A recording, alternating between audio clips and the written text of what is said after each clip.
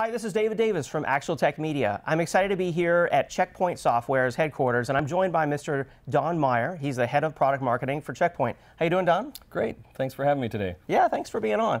So, you know, times are, are exciting right now for in enterprise IT. I mean, you've got public cloud, uh, hybrid enterprise cloud, you know, are kind of the terms of the day. Uh, but security is, is one of the greatest concerns that enterprises have. I mean, they're interested in the cloud, but I think security and, and you know, uh, so many other things are, are, holding them back. But anytime we do a survey, it, the number one is always security in the cloud. So you know, that's why I'm excited to be talking to you today. I mean, Check Point is really synonymous with firewalls, you know, going way back in the enterprise. So, you know, can you tell our viewers out there what is Check Point doing to enable the this secure hybrid cloud for the future? Great question. And you know, essentially, it is going back to our roots. It's, it's really looking at where we began. Uh, we began as a software company. We built the first commercially available stateful inspection engine, if you will, that allowed us to connect two different networks together and provide rules for which communication could be established between those networks from those humble beginnings, we've you know attacked on additional technologies. We've built a lot of technologies. We've acquired some technologies, and really rounded out our security portfolio to provide the right tools, the right techniques, and more importantly, the right management to allow organizations to orchestrate their security to meet all the needs of today's you know, crazy environment. Right. And with the digital transformation that we see taking place in organizations today, you know, everything from mobile to IoT to the cloudification of networks, if you will, mm -hmm.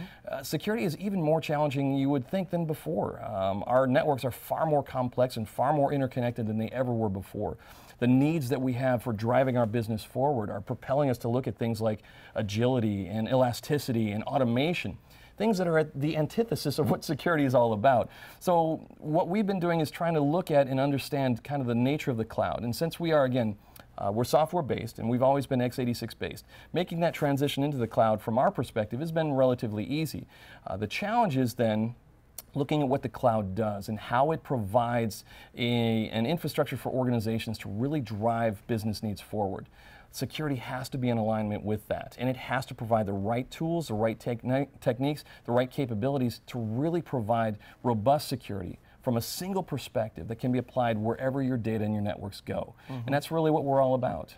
Very nice. So I was reading about your virtual security solution, and I was really impressed with kind of the breadth of the different offerings. I mean, because I know a lot of companies out there, they're you know they're looking at software-defined networking, so they might consider ACI or VMware's NSX, and you know then they're looking at public cloud offerings, and then of course they have their traditional you know virtual environment. So um, tell me, with virtual security, um, is that one of the, the main benefits? Is this choice? You know, just like cloud enables so much choice, virtual security, uh, your solution enables so much choice across different infrastructure, software-defined cloud, no matter what it is. Absolutely, and it, that's a really great point.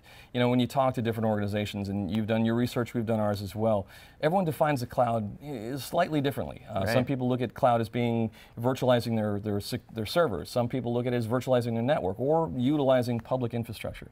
But what none of these organizations really want is vendor lock-in. They mm -hmm. don't mm-hmm. want to be stuck. They don't want to have to put all their eggs in one basket and re be reliant upon someone that they may or may not want to continue to do business with as they go forward, you know? They want the choice and they want the flexibility. Um, at vSEC, again, since we are, um, or I should say, our vSEC solution, since it's based on our traditional firewall solution, which mm -hmm. is mm-hmm. all software, uh, again, porting it over to the other cloud providers and the other solutions for us has been relatively straightforward. Uh, we provide solutions for VMware NSX, for Cisco ACI, for OpenStack uh, on the prem side. So if someone wants to virtualize their network, they can use any of those tools, and our solution fits in seamlessly with those different solutions. So we can insert security where it's needed. Um, people can do things like microsegmentation on-prem, and then have the added benefit of having a next-generation firewall that can do all the heavy lifting and inspecting of traffic to make sure that nothing is being introduced that we don't want it. And if something is introduced, we got measures in place to be able to stop it from spreading laterally. Likewise, we can look at public cloud infrastructure as well. Uh, we support Microsoft Azure, we support AWS, we support VMware vCloud Air, which is now moving into more of an AWS environment, as mm -hmm. well as mm-hmm. Google Cloud Platform we're, looking at supporting as well.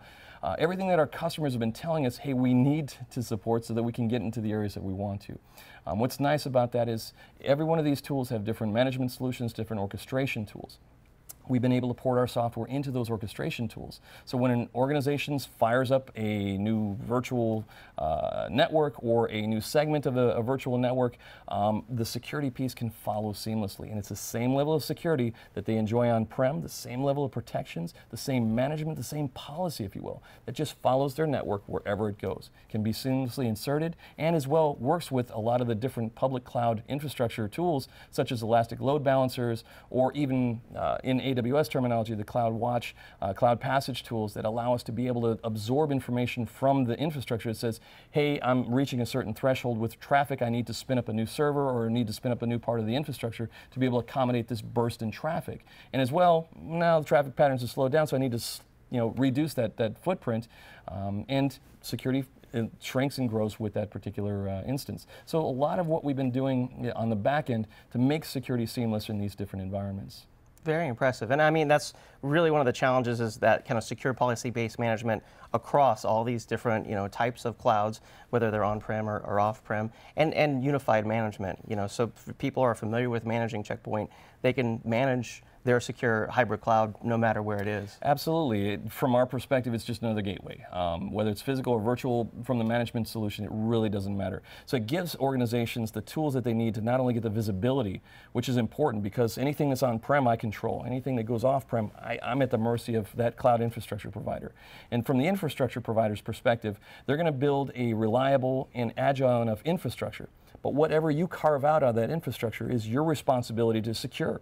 That's that shared security model that we hear a lot about. So we can port our wares into those areas to give you the same robust security capabilities, the same level of deep packet inspection, the same level of sandbag, uh, sandboxing technologies that we call Sandblast, to ensure that whatever data is introduced into that environment is what we want. And anything that we don't want, we can prevent it from getting in there and spreading around laterally. Very nice, very nice. So for IT pros out there who want to learn more, what do you recommend? Recommend coming checking us out uh, either at RSA. Uh, we're going to be showcasing all our wares at RSA 2017 this year. There are other events that we've got uh, hosted on our website. Please check us out at uh, www.checkpoint.com and, and we're happy to, to accommodate whatever uh, your level of security interest that, uh, that you have out there. Awesome. Thanks so much, Don. Appreciate it. Thank you.